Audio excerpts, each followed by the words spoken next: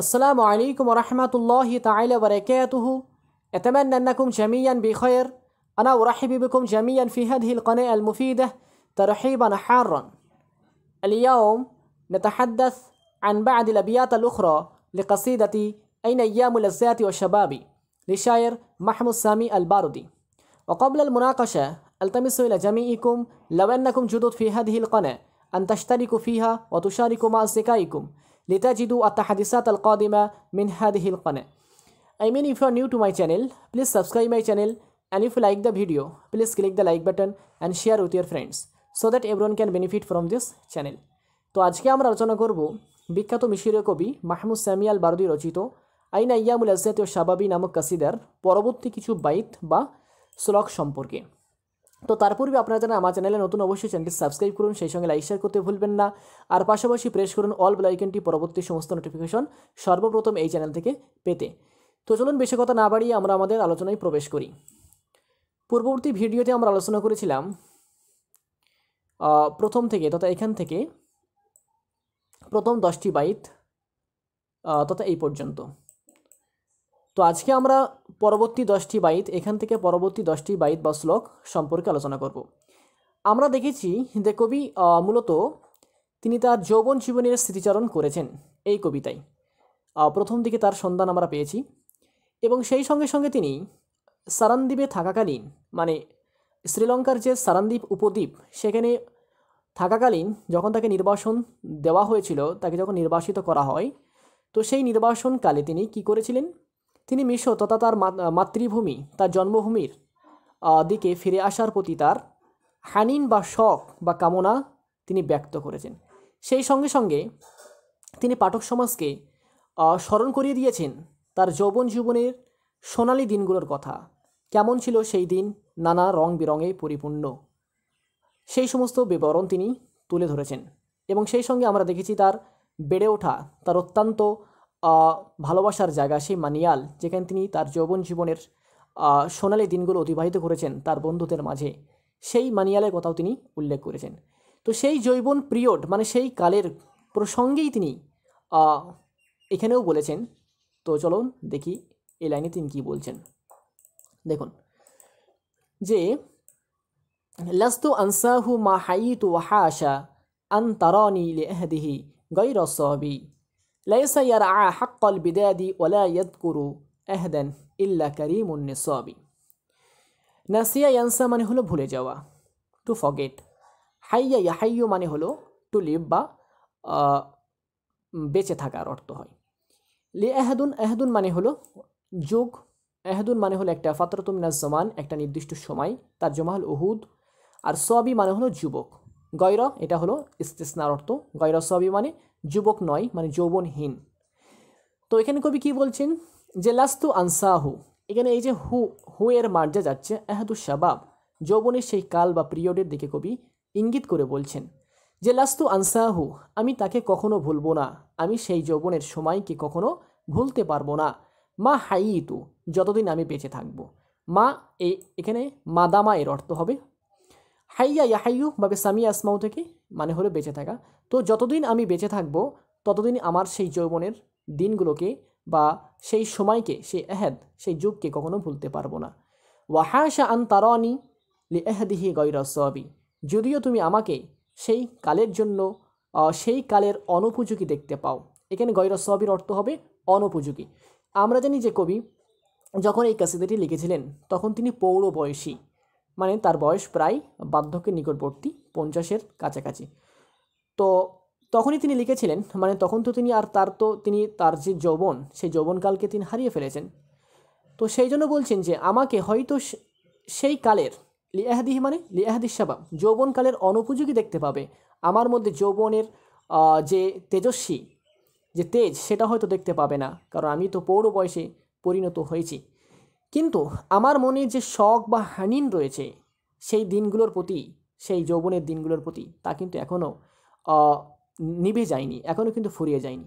আমরা পরবর্তীতে একটি লাইনে দেখব যে কবি বলেছেন যে একজন মানুষ, তার শখ কিন্তু কখনো শেষ হয়ে যায় না, যদিও তার যৌবনটা শেষ হয়ে যায়, তার যৌবনকাল ফুরিয়ে যেতে পারে। কিন্তু তার মনে তার মনে থাকা সেই দিনগুলোর প্রতি, সেই যৌবন দিনগুলোর প্রতি, সেই সোনালি দিনগুলোর প্রতি হানিন এবং আকাঙ্ক্ষা কামনা এগুলো কখনো ফুরিয়ে যায় না। তো কবি বলছে যে, আমিও হয় এখন তো পৌর বয়সে উপনীত হয়েছি, সেই জন্য আমাকে হয়তো এখন যৌবনহীন দেখতে পাবে মানে যৌবনের অনুপযোগী দেখতে পাবে সেই সময়ের জন্য। কিন্তু কিন্তু আমি আমি যতদিন জীবিত থাকব, আমি কিন্তু তাকে ভুলতে পারব না। মানে আমি, আমার হৃদয় মন কিন্তু সর্বদা তার দিকে তাড়িত, সর্বদা আমাকে সেই দিকে নিয়ে যায়। তো তারপরে কবি কি বলছেন? কবি বলছেন, লাইসা ইয়ারা হাক্কাল বিদায়াদি ওয়ালা ইয়াজকুরু আহাদান ইল্লা কারিমুন নিসাবি। রা ইয়ারা মানে হলো টু কেয়ার ফর সামথিং মানে কিছুর জন্য খুব যত্নশীল হওয়া। হাক্কাল বিদায়াদি মানে বিদাদ মানে ভালোবাসা। তো হাক্কাল বিদাদি সত্য ভালোবাসা, সত্য বন্ধুত্ব, সত্য হৃদ্যতা এই অর্থে হয়। ওয়ালা ইয়াজকুরু জাকার ইয়াজকুরু স্মরণ করা। এহাদান তাজমা উহুদ মানে ওই যে, সময়। বা যুগকে বলা হয় করিমুন নিসব। নিসব মানে আসল, মূল। এখানে আমরা বংশ বলতে পারি। করিম মানে উদার। তো বংশসূত্রে যিনি উদার বা প্রথম থেকে প্রথম থেকে যিনি উদার, সেই মানুষটা। এখানে কি হয়েছে? এখানে হয়েছে, এটা হলো উসলুবুল কাসর হয়েছে এখানে। মানে এটাকে কাসর করা হয়েছে। এই করিমুন নিসব এখানে মাকসুর আলাই হয়েছে। ইস্তিসনা করে এটা মাকসুর আলাই হয়েছে। আর এখানে পজিটিভ অর্থ হবে। কীরকম? যে, লাইসা ইয়ারা হাক্কাল বিদায়াদি ওলা ইয়াসকুরু আহদান। যে সেই সত্য ভালোবাসাকে, সত্য বন্ধুত্বকে কখনো ভুলতে পারে না। বা কখনো মানে তার প্রতি যত্নশীল হয় না এবং সেই সময়কে মানে যৌবনের সেই সময়কে স্মরণ রাখে না। ইল্লা করিমন্নে সবই বংশসূত্রে যিনি উদার উদার মানুষ, উদার মনের মানুষ, তিনি ছাড়া। মানে কবি বলছেন যে আর রজুল আল্লাদি ইয়াকুন হুররান করিমান লা ইয়ানসা আহ, লা ইয়ানসা আহ, বিদাদ হুম বিদাদ বিদাদ আল শাবাব বিদাদ এহদি শাবাব কবি বলছেন যে যিনি কিনা স্বাধীন এবং উদার মনের মানুষ হন তিনি তার যৌবনের দিনগুলো সেই সোনালী দিনগুলো কখ- কখনো ভুলতে পারে না বা তার প্রতি কখনো অযত্নশীল হন না। হুম তাকে সর্বদা স্মরণ রাখেন। দেখুন যে লাইসেরা হাক্কাল বিদায়াদি ওলা ইয়াজগুরু আহাদান ইল্লা কারিমুন নিসাবি। মানে যিনি বংশসূত্রে উদার মানুষ, তিনি সর্বদা সত্য ভালোবাসা বা বন্ধুত্বের প্রতি যত্নশীল হন, তার প্রতি যত্নশীল হন মানে তার প্রতি মনোযোগ দেন এবং তাকে সর্বদা মানে সেই সময় বা সেই যুগকে সর্বদা মনে রাখেন বা স্মরণ করেন। জাকারিয়াজ গুরু স্মরণ করেন। এবার দেখুন, তারপরে কবি কি বলছেন? ফালাইন জালা ফশতিয়াকি ইলাইহি মিসলু কৌলি বাকিন আইল আহকবি ইয়া নদী মাইয়া মিন সরন্দিবা কুফা আইন মালামি ওখল্লি ইয়ানি লিমাবি কবি কি বলছেন? যে, ফালাইন জালা জালা ইয়াজুলু মানে টু ডিসঅ্যাপিয়ার শেষ হয়ে যাওয়া, ধ্বংস হয়ে যাওয়া, এই অর্থে হয়। ইশতিয়াক শখ এর অর্থে মানে যে কামনা যে আগ্রহ মনের সেটা। তারপর ইলাসিলা হয়। এই হায়ের মার্জে যাচ্ছে কোন দিকে? সেই আহদুস শাবাব যৌবনের সেই যুগটার দিকে সেই কালের প্রতি। মিসলু কৌলি কৌলি বলতে আমার কথা। কবিদের কথা মানে কবিদের শের বা কবিতা। তো কবিতার মতো। বাতিন মানে এটা ইসমে ফাইলের শেখা বা কাইয়াবকি থেকে মানে অবশিষ্ট থাকা। আহাকব আহ, হকাবুন, এই হাকবুন বা হাকাবুন হাকাবুন তার জমা আহকব হয়। এর মানে হলো এর মানে দীর্ঘকাল, অনন্তকাল এই অর্থে হয়। আরেকটি অর্থে হেক পাতুন তার জমা হেকাব, সেটা হয় একই অর্থ, অনন্তকাল, দীর্ঘকাল মানে যুগের পর যুগ এই অর্থে হয়। তো কবি কি বলছেন যে, ফালা ইন জালা, এই জালা এর যে ফাইল সেটা হলো আহাদুস শাবাব বা হ্যাঁ ওই আহাদুস শাবাব সেটা। বলছে ফালাইন জালা যে যদি কিনা যৌবনকালটা ধ্বংস হয়ে যায় বা নষ্ট হয়ে যায়। ফাস্তিয়াকি ইলাইহি মিসলু কৌলি বাকিনা আলাল আহকবি। তথাপিও আমার শখ, আমার হানিন, আমার কামনা তার দিকে মানে সেই যুগের দিকে, সেই যৌবন কালের দিকে, মিসলু কৌলি আমার কবিতার মতো অবশিষ্ট থাকবে আল আহকবি যুগের পর যুগ। কবি এখানে কি বলতে চাইলেন? কবি বলতে চাইলেন ওই একই কথা যেটা আগে আমি উল্লেখ করলাম সেটা এই লাইনে তার প্রকাশ ঘটেছে। কবি বলছেন একজন মানুষ তার যৌবনকালকে হারিয়ে ফেলতে পারে কারণ বয়সের কারণে তার যৌবনকালকে হারিয়ে ফেলতে পারে। কিন্তু সেই যৌবনকালের যে স্মৃতি সেই দিনগুলো সোনালি দিনগুলো সে কখনো ভুলতে পারে না। সর্বদা তার হৃদয় মন তাকে কিন্তু তার দিকে আহ্বান করতে থাকে। তার স্মৃতিপথে সেগুলো কিন্তু সর্বদা রয়ে যায়। তার স্মৃতি আহ, পথ থেকে সেগুলো কখনো মুছে যায় না। তো কবি বলছেন সেই মানুষটা সর্বদা কী করতে থাকে? তার যতদিন সে বেঁচে থাকে, সেই দিনগুলো কিন্তু স্মরণ করতে থাকে। হ্যাঁ সেই দিনগুলো কখনো সে ভুলতে পারে না। তো সেটাই বলছে যে যে ফালাইন জ্যালা যদিও ধ্বংস হয়ে যায়, যদিও নষ্ট হয়ে যায় বা যৌবনকাল অতিবাহিত হয়ে কেউ পৌরকালে উপনীত হয়, তথাপিও কিন্তু সে ভুলতে পারে না। বলছে, ফালাইন জ্যালা যদিও সেই কালটা ধ্বংস হয়ে যায় ফাস্তিয়াক এই ইলাইহি তথাপিও আমার শখ, আমার ইশতিয়াক, আমার কামনা, তার প্রতি মিসলু কৌলি আমার কবিতার মতো ইটান্নাল থাকবে। তো কবি কি বলছেন যে কবিতা যেমন, কবিরা মারা গেলেও যেমন কিনা, কোনো একজন কবি কোনো একজন কবি মারা গেলেও তার কবিতা কিন্তু মারা যায় না। তার কবিতা কিন্তু চিরকাল জীবিত থাকেন বা ইটার্নাল থাকে। মানে সেই রকম ঠিক একইভাবে কবি বলছেন যে সেই যৌবনকাল হয়তো শেষ হয়ে যেতে যেতে পারে। কিন্তু সেই মানুষটার মনের যে শখ বা হৃদ- তার যে আগ্রহ, সেটা কখনো শেষ হয় না। এটা কিন্তু এক প্রকার তাসবি দেওয়া হয়েছে। মিসল কৌলি কৌলি এখানে মুসাব্বাবিহি, যার অর্থ কবিতার অর্থ হবে, এটা মুসাব্বাবিহি। এটা হালাতের এখানে এটা তাসবি দেওয়া হয়েছে। তো সেটা এখানে বলছেন কবি। তারপর দেখুন কি বলছেন? ইয়া নাদিমাইয়া আরেকটি অর্থ এখানে আরেকটা বিষয় আমাদের মনে রাখতে হবে যে অত্যাধিক কিন্তু কবি এই যে জালা, এই জালা এবং এই বাকেই এই দুটি শব্দ পারস্পরিক কিন্তু, আর তিবাক শব্দ তাদাত এই কবিতায় আমরা অনেক দেখেছি এরকম। এই কবিতায় কবি যে আল মহাসনাত আল বাদি ইয়া অনেকগুলো ফুটে উঠেছে। যেমন এখানে দেখুন, প্রথম দিকে মাদা মাজা মানে অতিবাহিত হয়ে যাওয়া, ইয়ারুদ্দু মানে ফিরে আসা, ফিরে, ফিরিয়ে দেওয়া এইভাবে সব সব মানে এগুলো কি তাদাদ বা বিপরীত শব্দাবলী, এগুলোকে তিবাক বলা হয়। আইলমিল বাদির পরিভাষায় এগুলোকে তিবাক বলা হয় যেগুলো কিনা আল মহাসনাত আল মায়নবিয়ার মধ্যে আসে। ঠিক একইভাবে আরও আমরা অনেক শব্দ পেয়েছি, যেখানে কবি এরকম সব তিবাক শব্দ ইস্তেমাল করেছেন। এগুলো বাক্যের সৌন্দর্য, কবিতার সৌন্দর্য বর্ধন করে। ঠিক তারই একটি সন্ধান আমরা পেলাম এই লাইনে। এই যে জালা ইয়া জুলু মানে শেষ হয়ে যাওয়া। আর বা পাইয়াবকি মানে থাকা, অবশিষ্ট থাকা, পরবর্তী সম্পূর্ণ এটা একটি তিবাক শব্দ। তো একই বাক্যে কি হলো? একই বাক্যে সেন্টেন্সে এখানে বাড়িতে দেখা গেল, এরকম তিবাক শব্দের মানে আসলো। তো এটা হলো আল মহাসনাত আল বাদি আইয়া একটা বাদি ই সৌন্দর্য। তারপর দেখুন কি বলছে কবি বলছেন যে, ইয়া নাদিমাইয়া মিন সারান্দিবা কুফা আন মালামি আন মালামি ওয়াখাল্লি ইয়ানি লিমাবি নাদিমাইয়া বলতে তার যে দু বন্ধু, আগে আমি মেনশন করেছি, যে দু বন্ধুর কথা যে অন্তরঙ্গ দুই বন্ধু, অত্যাধিক ক্লোজ দুই ফ্রেন্ডের কথা কবি এখানে উল্লেখ করেছেন, তাদেরকে এখানে তাদের প্রতি এখানে শোক করেছেন। হুম, তাদের ইন্তেকালের পরে তাদের প্রতি শোক করেছেন। তো তাদের খবর, তাদের ইন্তেকালের পর খবর যখন কবির কাছে পৌঁছেছিল সারানদ্বীপে হ্যাঁ তখন কবি কিন্তু তাদের প্রতি রিসা করে বা শোকগাথা রচনা করে এই কবিতাটি রচনা করেছিলেন। তো সেই দুই বন্ধুর প্রতি ইঙ্গিত করেই কবি বলছেন যে কি, ইয়া নাদিমা মাইয়া, হে আমার দুই বন্ধু। কারা ওই দুই বন্ধু ছিলেন? তাদের একজন হলো আবদুল্লাহ বাশা ফিকরি আর একজন হলেন শেখ শেখ হাসান আল মারসফি তো কবি তাদের দিকে বলছেন যে, ইয়া নাদিমা ইয়া হে আমার অন্তরঙ্গ দুই বন্ধু, মিন সারানদ্বীপ তিনি যেহেতু সারানদ্বীপ থেকে বলছেন কুফা আইন মেলায়ামি তোমরা আমার তিরস্কার থেকে দূরে থাকো বা বিরত হও। ওয়াখাল্লি ইয়ানি, খল্লা ইউখাল্লি তাখলিয়া বা বেতাফি আইল থেকে। এর আমর হলো, ফেলে আমর হলো খাল্লি। আর খল্লিয়া এটা হলো তাসনিয়ার সিগা। তো বলছে, ওয়াখাল্লি ইয়ানি, তোমরা কি করো? তোমরা আমাকে তোমরা, এর একটি অর্থ হয় তারা কাইয়াতরুকো ছেড়ে দাও। তো আমার জন্য তোমরা ছেড়ে দাও।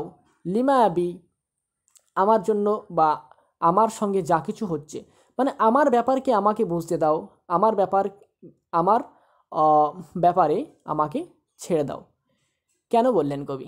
এই যে কবি আগেই এতক্ষণ বললেন, তার যে যৌবন কালের দিকে তিনি ইঙ্গিত করছেন বা যৌবন কালের প্রতি তিনি যে স্মৃতিচারণ করছেন তিনি যে তাকে ভুলতে পারেন না, তাকে কখনো জীবনভর তিনি তাকে স্মরণে রাখবেন। তো এই জন্য কবি তার বন্ধুদেরকে বলছে, এই জন্য আমাকে কি করো না? আমাকে মালামত করো না, আমাকে তিরস্কার ভর্সনা করো না, আমাকে স্মরণ করতে দাও, আমাকে সেই অতীত জীবনের কথা, সেই যৌবন জীবনের কথা মনে রাখতে দাও, বারবার তাকে আমাকে স্মরণ করতে দাও। এবার কেন কবি বললেন? দেখুন, যে কাইফাল্লা আন্দুবু আশাবাবা ওকাদ আসবাহাতু কাহলান ফি মেহনাতিন ওয়া ওয়াক্তে রবি আখলাকা শাইবু জিদ্দাতি ওয়াকাসানি খিল আতাম মিনহু রস্তাতাল জিলবাবি। দেখুন এখানে, যে নাদাবা ইয়ান্দুবু মানে শোক করা। নাদাবা ইয়ান্দুবু মানে শোক করা। নাদবন মাজদার শাবাব মানে হলো সেই জৈবন কাহালুন মানে হলো যেটা পৌর বললাম যেটা পৌর বয়সী। তো পৌর কাল যেটা তিরিশ থেকে পঞ্চাশ বছর বলা হয়, আর আমি যেটা আগে বললাম যে এই কবিতাটি এই কবিতাটি যখন কবি লিখেছিলেন, তখন তিনি পৌর বয়সী ছিলেন। তো কবি কি বলছেন? আর মিয়া হেনাতুন শব্দের অর্থ- হলো, ক্লেশ, কষ্ট, যন্ত্রণা এরকম অর্থ আসে। ইকতেরাম বলা হয় দেশান্তর হওয়া, প্রবাসী হওয়া। তো কবি বলছে কৈফাল আন্দুবু শাবাবা, আমি কেন সেই যৌবনকালের প্রতি মানে শোক করব না? কেন বিলাপ করব না? অকাদ আসবাহাতু কাহলান, আমি তো পৌর বয়সী হয়েছি। আমি তো পৌর বয়সী উপনীত হয়েছি। ফিমিয়া হেনাতিন কার মধ্য দিয়ে? কষ্ট যন্ত্রণার মধ্য দিয়ে, অক্তি রবি এবং দেশান্তর হওয়ার মধ্য দিয়ে। আমরা জানি যে কবি যে সময় এই কবিতাটি লিখেছিলেন, তখন তিনি সারাম ছিলেন মানে তিনি তো তেনার দেশে ছিলেন না, তেনার দেশ তো মিসর। কিন্তু লিখেছিলেন এটা শ্রীলঙ্কার সারামদ্বীপ উপদ্বীপে। তো দেশান্তর হওয়ার মধ্যে দিয়ে এবং কবির জীবনের কষ্ট এবং ক্লেশের মধ্য দিয়ে কবি বলছেন, আমি আজ পৌর বয়সে উপনীত হয়েছি। তো আজকে আমার জীবনে এত কষ্ট, এত দুঃখ যন্ত্রণা, কেন এত কষ্ট, এত দুঃখ যন্ত্রণার মধ্যে আমি সেই যৌবনের সোনালি দিনগুলোর জন্য স্মরণ করব না বা তার জন্য আমি এখানে ক্রন্দন করব না। কেননা কবি, এই সোনালি জীবন যেটা তার ছিল এক সময়ে, তার জীবনের যে সোনালি দিনগুলো ছিল সেই যৌবনকালে, তো সেই দিনগুলো কতই না সুন্দর ছিল। কিন্তু আজকে আমি পৌরকালে বা পৌর বয়সী হয়েছি। কত কষ্ট, কত ক্লেশের মধ্য দিয়ে। এই জীবনে আমার আর কি আছে? কেন আমি সেই জীবনের কথা স্মরণ করব না? সেই দিনগুলোর কথা কেন আমি স্মরণ করব না? আর কেনই বা তার জন্য আমি তাকে হারানোর ফলে ক্রন্দন করব না বা তার প্রতি বিলাপ করব না? তো এটা তার বন্ধুদেরকে উদ্দেশ্য করে বলছেন? সেই জন্য তো কবি বলছেন, আমাকে স্মরণ করতে দাও কুফা অ্যান্ড মালামি, আর আমার তিরস্কার থেকে বিরত হও তোমরা। এর জন্য আমাকে কিছু বলো না। এটা এক প্রকার উসলুব, এটা এক প্রকার উসলুবুল কোদামা। এরকমভাবে অতীত প্রাচীন কবিরা এইভাবে বলতেন, নিজেদের মনে মনেই বলতেন এইভাবে। তো তারপর দেখুন কবি কি বলছেন? এই কবিতাটি পুরোটা কিন্তু এই মানে স্মৃতিচারণ করেছেন কবি এবং মিশরে যে যাওয়ার প্রতি বা ফিরে আসার প্রতি কবির যে হানিন সেটা কিন্তু এই কবিতায় কবি ব্যক্ত করেছেন, সেটা ফুটে উঠেছে। দেখুন, আখলাকা আখলাকা শাইবু জিদ্দাতি ওয়াকাসানি খিল আতাম মিনহু রস্তাতাল জিলবাবি, ওয়ালাওয়া শেআর হাজিবাইয়া আলা আইনাইয়া হাত্তা আতল্লাকাল হুদ্দাবি। আখলাকা ইখলাক ইখলাক মানে আবলা, ইবলি, ইবলা মানে হলো জীর্ণ শীর্ণ করে দেওয়া, পুরানো করে দেওয়া। সাইবুন মানে বার্ধক্য। জিদ্দাতুন মানে নতুনত্ব, আরেকটি অর্থ হয় জিদ্দাতুন মানে যোগ্যতা, ক্ষমতা, এই অর্থ হয়। একস একসু এটা এর মানে হলো পরানো পরিধান করানো। থিলা আতুন বলা হয় একটি পোশাক বিশেষ। মিনহু এই হায়ার মার্জে যাচ্ছে কোন দিকে? সাইব এই দিকে রসাতুল জিলবাব, রসাত মানে হলো রস্সা এটা অ্যাডজেক্টিভ রসুন বলা হয়, সাউবুন রসুন বলা হয়, পুরানো কাপড়। তো রসাতুল জিলবাব জিলবাব মানে বড় চাদরকে বলা হয়। তাহলে পুরানো বড় চাদর বা পুরানো বস্ত্র বা জীর্ণ শীর্ণ বস্ত্র রস্তাতুল জিলবাব আমরা অর্থ নেব, জীর্ণ শীর্ণ বস্ত্র। তো কবি কি বলছেন যে আখলাকা সাইবু জিদ্দাতি, বার্ধক্য আমার, নতুনত্বকে পুরানো করে দিয়েছে বা আমার নতুনত্বকে জীর্ণ শীর্ণ করে ফেলেছে। ওয়া কাসায়ানি, এবং আমাকে পরিধান করিয়েছে খিলা আতান, একটি পোশাক। যে পোশাকটা কিসের পোশাক?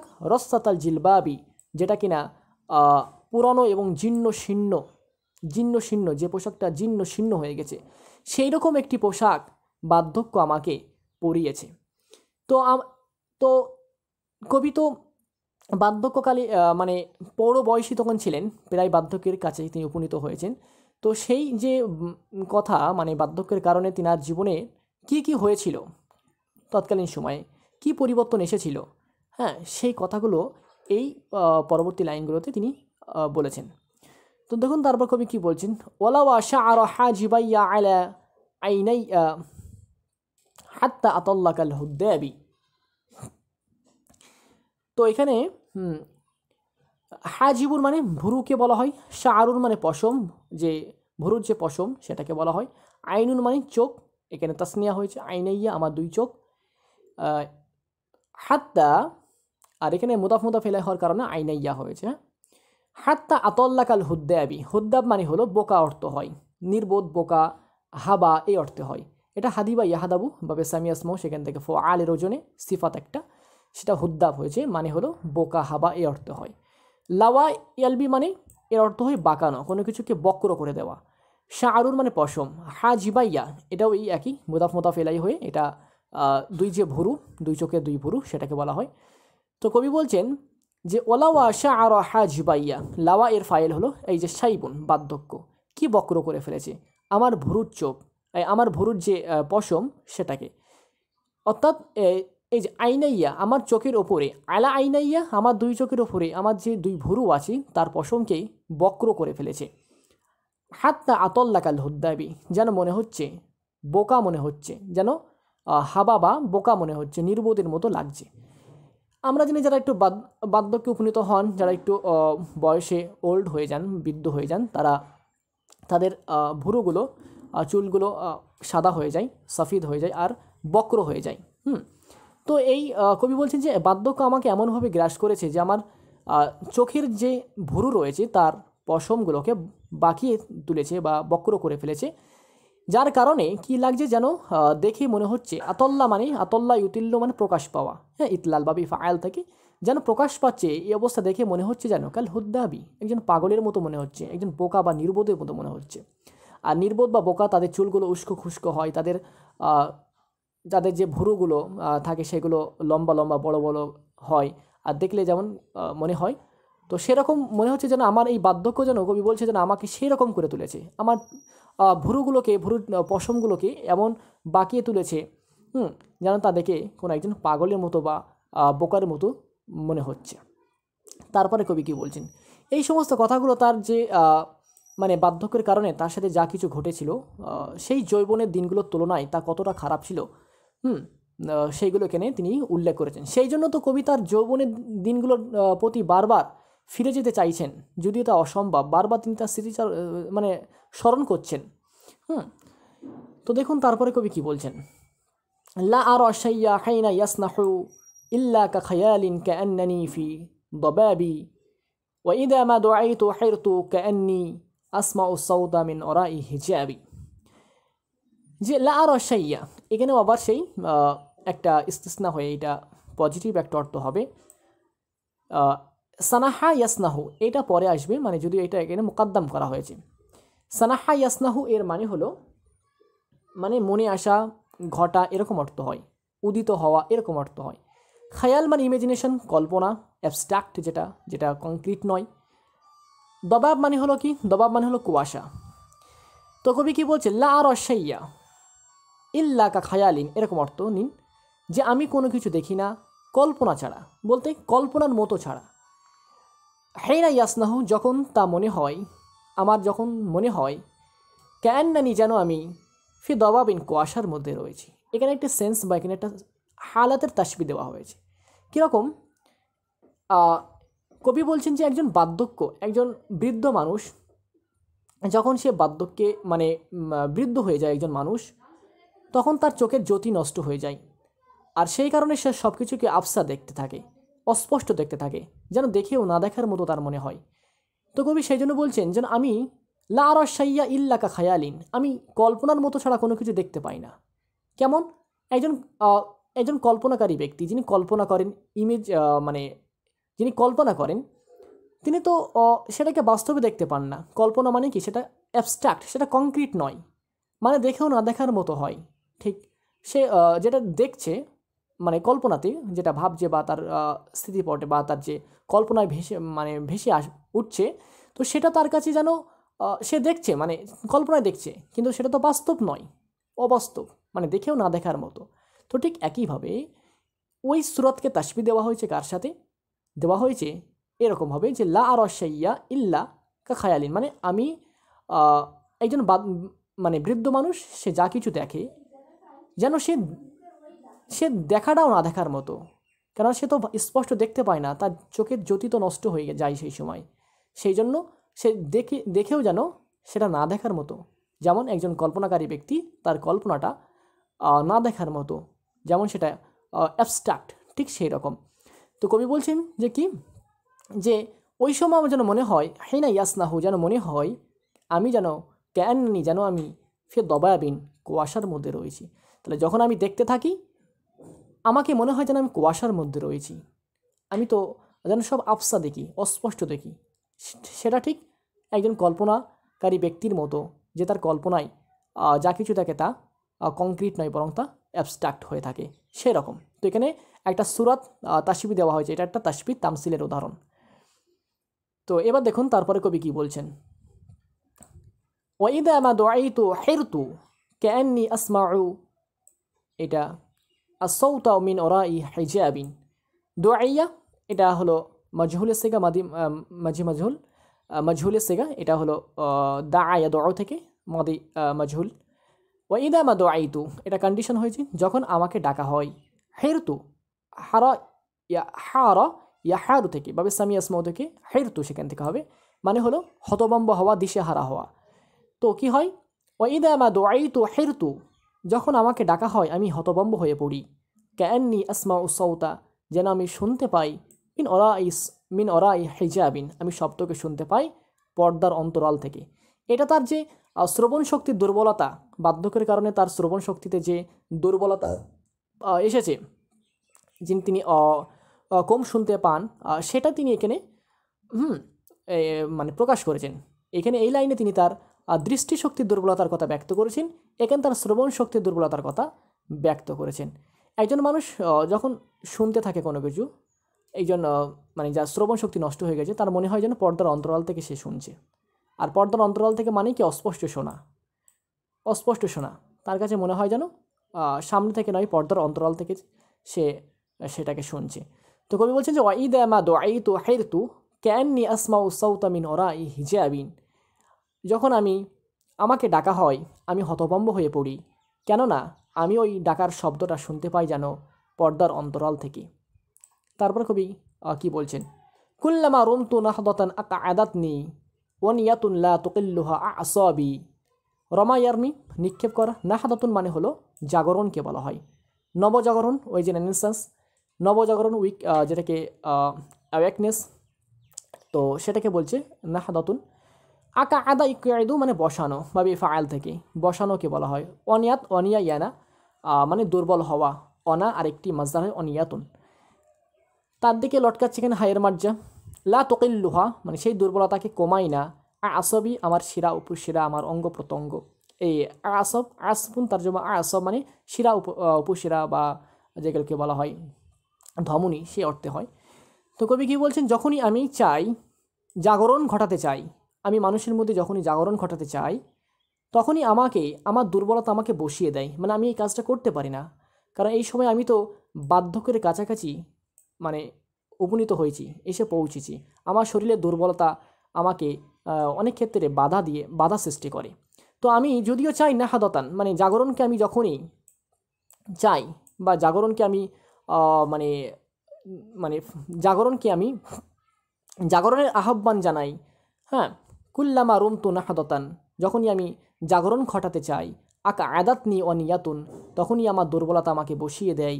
লা তোকিল্লোহা, এমন একটি দুর্বলতা লা তোকিল্লোহা আসবি যাকে আমার শিরা উপসেরা, আমার ধমনীগুলো কমাতে পারে না।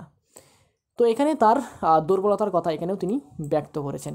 তো এই পর্যন্ত কবি তার বার্ধক্যের কারণে তার সাথে সাথে যা কিছু হয়েছে, সেগুলো কথা তিনি অত্যাধিক কষ্টের সাথে ব্যক্ত করেছেন। এবং প্রথম দিকে আমরা দেখেছি কবির মিশরে যাওয়ার প্রতি, মিশরে ফিরে আসার প্রতি তার মনের আগ্রহ ফুটে উঠেছে।